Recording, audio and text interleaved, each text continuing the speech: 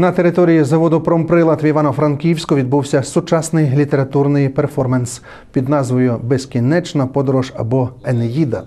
Відомий письменник Юрій Андрухович читав власні вірші та фрагменти есеїв, що перегукується з поемою Івана Котляревського Енеїда, а також уривки з цього відомого твору української класики.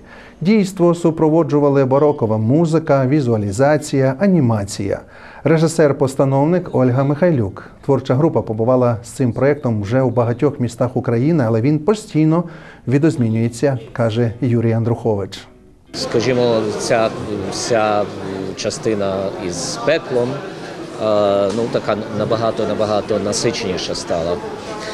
Ну і, і так далі, і так далі. Тобто деякі е, частини виконувалися цілком інакше.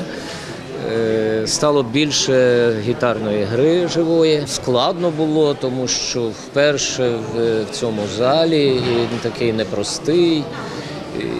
Я, наприклад, е, дуже багато мав проблем зі звуком, щоб добре чути і себе, і партнерів. От, ну, але е, що втішило? Втішило, ну, як багато було людей і як, е, як уважно приймали.